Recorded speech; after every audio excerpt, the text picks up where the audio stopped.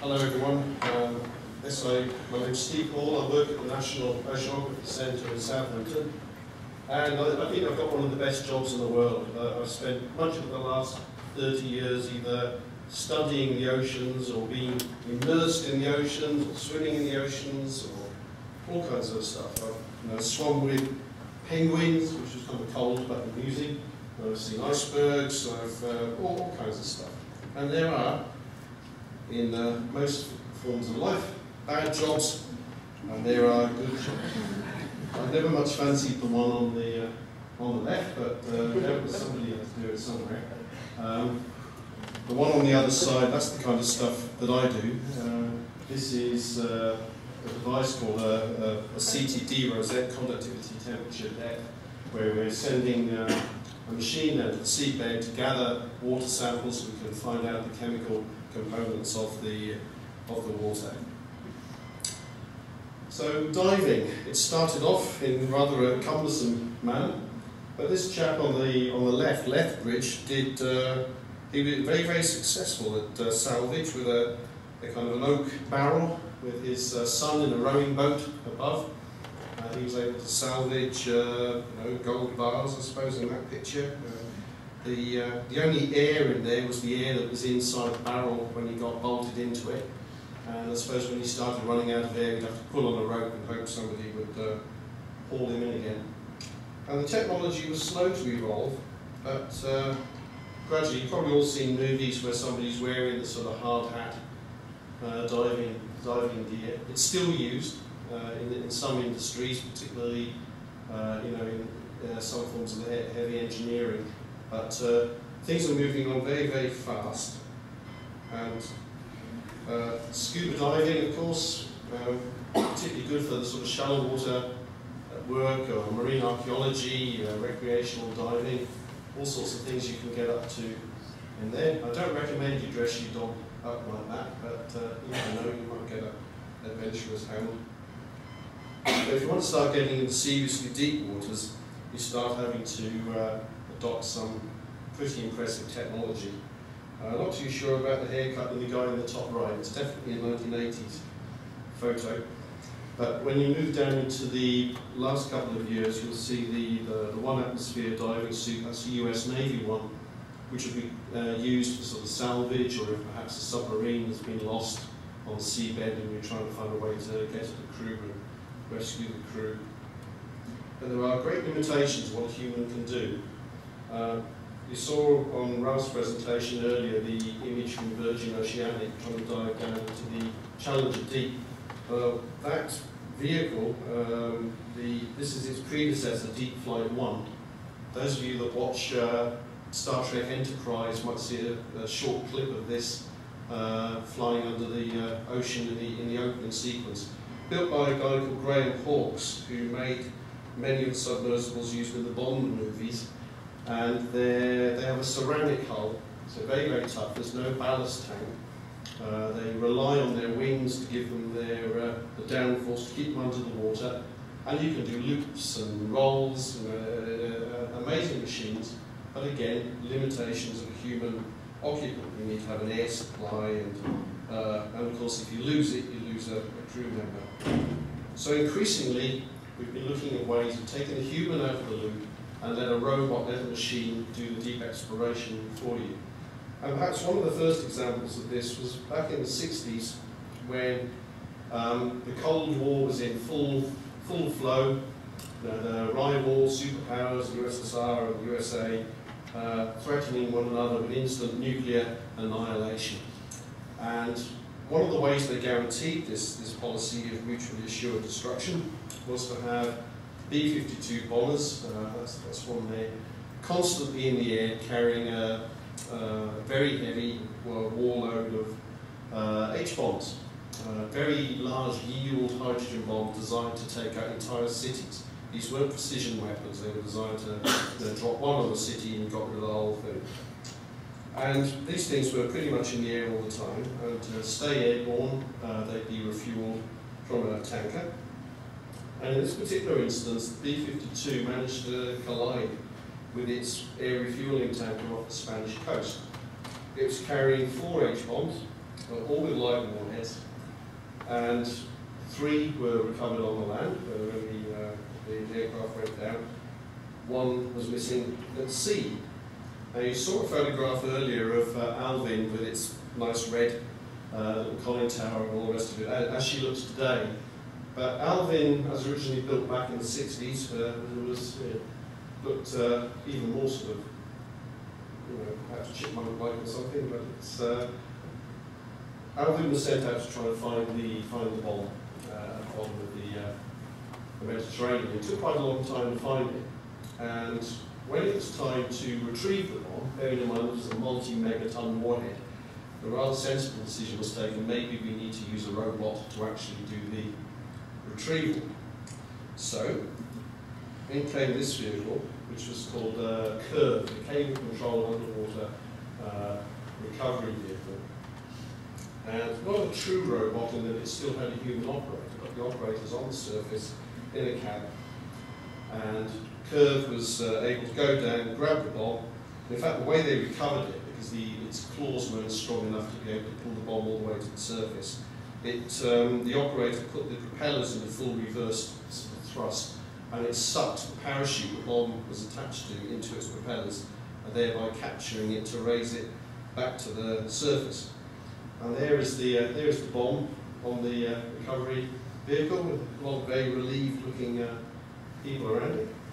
And if you happen to find yourselves in Albuquerque, New Mexico, uh, the casing of the bomb without its uh, multi-megaton warhead uh, is there preserved for you to, to pat on the head as you, as you wander past. And um, if you want to read more about this, there's lots of fascinating material about all the problems they had, you know, trying to find the bomb and uh, how, how they decontaminated the land in Spain where the other three had landed. Uh, at least one of them only had one of its safety locks left intact when they uh, recovered it, so there could have been quite a massive explosion. So CURV has gone on to various other generations of increasing sophistication used for a number of different tasks. And the whole scene of these uh, remote operated vehicles, ROVs, has become gradually more and more sophisticated. So there's an operator on the, on the surface in the parent ship can you know, operate these things from a distance and go to depths far beyond what a human crew member can achieve. And if you like video games, it's probably one of the best jobs in the world. You sort of sit there in a control cab with your joystick flying the ROV around trying to find your, uh, your target or try to do some scientific investigation. Or in the, the world of industry, you might be down there at the base of, you know, around those Christmas trees, and around the risers, attaching things, repairing things, doing the kind of things that human divers have done in the past. Those aren't true robots, they still rely on a human operator. So we start moving into the vehicles that don't have a human operator, the things that operate completely by themselves. Uh, this is one of the simplest kinds, the subsea glider. And these things are increasingly being used to undertake long oceanographic missions where you're trying to obtain multiple measurements over a period of weeks or months. Um, they, they literally glide on uh, density gradients in the ocean. And as you've seen earlier, one of them has already completed uh, a complete transatlantic crossing. Uh, there are plans to perhaps deploy some of these things one day in a round the world race with sort of rival teams to see if anybody can uh, get their get their glider to do a complete circumnavigation. And there are quite a few different designs out there now as well. Uh, we use these ones, uh, the Slocum gliders, and another one by a company called iRobot. And uh, we're, we're getting quite a lot of success now. But another layer of sophistication again is a program I was involved with for about four years. Uh, this one's called AutoSub, and it's a, it's a seven meter long true robot. Uh, it's completely autonomous. Once we put it into the ocean, it's by itself. It, it doesn't communicate with the surface at all, other than to tell us where it is occasionally. Uh, so it's given a pre-programmed course. Uh, in the case of this particular one, it has a range of about 1,000 kilometres or or eight days endurance. It was powered, believe it or not, by torch batteries, uh, the first one, had 3,600 D cells. So really should have painted it gold and black or coloured it in pink fur or something and had it advertised. But AutoSub did some fantastic work for us uh, out in places where it was hard for research ships to go. And these machines are becoming increasingly sophisticated and available in different sizes. I mean, this gives the, an idea of the inside of a, of a Remus uh, autonomous underwater or the robots. So you see it has, uh, you know, has GPS systems when it's on the surface. Iridium is a low Earth orbit uh, satellite system for communicating back to shore. Essentially, these things send text messages whenever they come onto the surface to tell us where they are and is it okay for them to go back down again. Uh, so you can operate them from the pub, which we have done before now, which is uh, a very civilised way of working. Um, and as, as, I said, they come in all shapes and sizes. So you get the small ones like Remus vehicles, which you can literally carry in your own arms and send off to do some work. Um, the one here, uh, this was a very large Canadian uh, vehicle that was built for laying uh, telephone cable. Uh, it, uh, the, the hull was full of a large spool of fibre optic cable. Uh, they wanted to lay a, lay a telephone line along the coastline under the ice. It would been very expensive to do with an icebreaker. So they were able to load it all on board this little vehicle, which travelled around the north coast of Canada, laying the cable as it went, and then it was retrieved from a hole in the ice when it got to its destination. And not all of the vehicles go under underwater. There are these kinds uh, as well, which are solar powered, so they, you know, they're not limited by their battery life, and they can travel around the ocean for you know, months at a time, gathering data and transmitting it back to base. So in the AutoSub program, we focus very much on under ice work, so that we could basically take the ship out to the ice edge, put the AutoSub in the water, and then the ship could go and do something else while the robot went and did some exploration for us.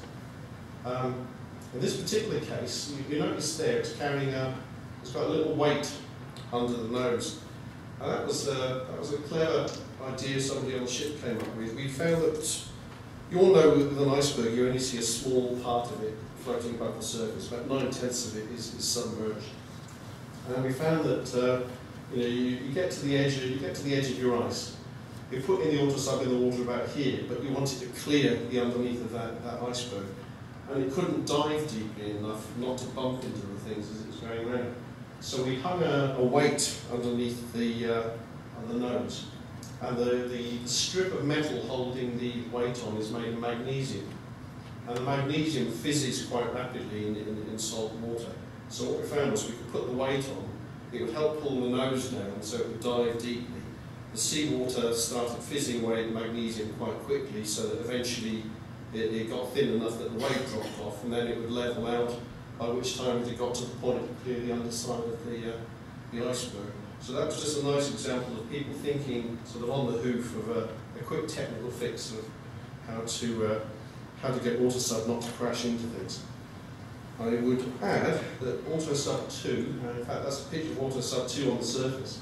I like this one, this is where the, the ship is um, obviously next to it, where a photographs were taken from. And as the ship has uh, moved near the AutoSub, the, uh, the ice on the surface has been pushed sideways. And see all the little grooves left behind by the, uh, the aerial sticking out the top of the top of the auto AutoSub. So uh, this particular one, um, we've, we've temporarily lost. Uh, I wouldn't say permanently lost, because we know exactly where it is.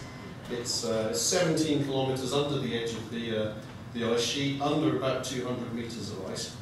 And uh, with the current rate of global warming and glacier melt, we confidently expect to get it back in about 20 or 30 years' time.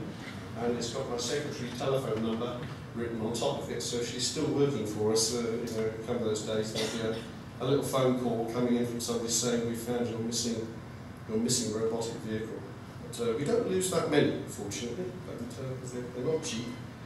So this is the, the program we, we've now moved on to, which is the AutoSub long range vehicle. So 6,000 kilometres range, able to dive to 6,000 metres or spend six months away. And, and it does this uh, by moving very, very slowly, uh, extremely slowly. Uh, at one point we even tried it with a single bladed propeller to try and get the, uh, uh, the energy consumption down to the absolute minimum. So basically moves slowly, uh, uses uh, mobile phone technology which is quite low energy consumption and it goes to sleep when it's not doing anything interesting. So we'll just go and find someone on the seabed to just sit and have a snooze and then wake up and go and do a little bit more research. And we're hoping to use this vehicle to be able to do to go to the places where the gliders can't go, you know, just by being pulled in by the ocean currents. And we're by no means the only lab working these things. So, you know, there's an artist's impression of uh, two other types, the Puma and the Jaguar, being used to go down to do uh, exploration in different parts of the global ocean. But all of this uh, leads to some quite exciting possibilities. And the one I'll finish off on is this one, which we're getting quite excited about.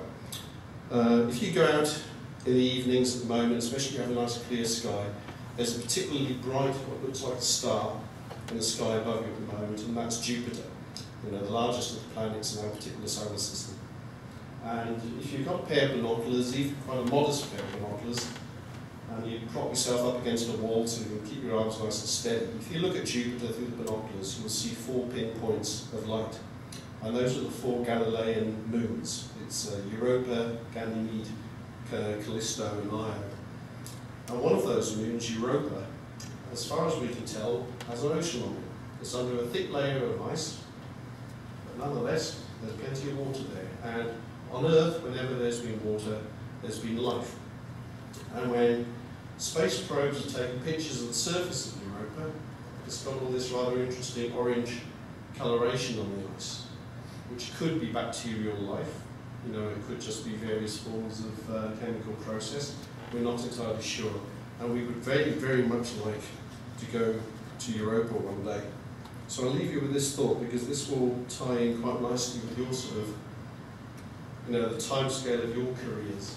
Uh, we've already got the technologies that we've developed on Earth's ocean to be able to get down without uh, a human having to be in the vehicle and these things to go off and navigate and explore all by themselves.